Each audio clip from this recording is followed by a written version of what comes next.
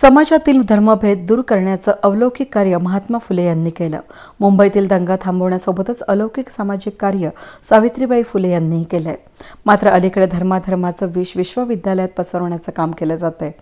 आपल्या सर्वांची ही जबाबदारी आहे की विष विद्यार्थ्यांमध्ये न पेरता त्यांना शिक्षण करू द्या असं प्रतिपादन राज्याचे अन्न नागरी पुरवठा आणि ग्राहक संरक्षण मंत्री तथा नाशिक जिल्ह्याचे पालकमंत्री छगन भुजबळ यांनी केलं. सावित्रीबाई फुले पुणे विद्यापीठात राज्यपाल भगतसिंग कोश्यारे यांच्या प्रमुख उपस्थितीत क्रांतीज्योती सावित्रीबाई फुले यांच्या पूर्णाकृती पुतळ्याचं अनावरण करण्यात आलं.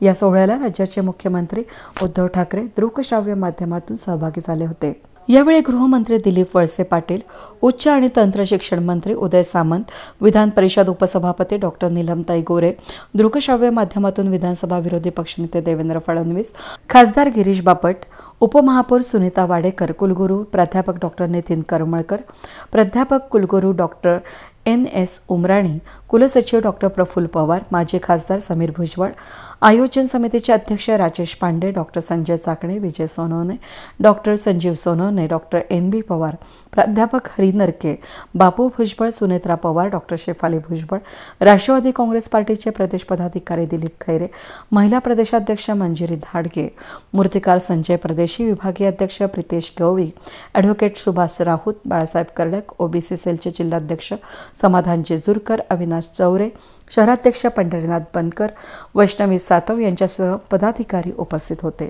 वेद न्यूजसाठी सिनियर कॉरेस्पॉन्डंट कमलाकर देवडे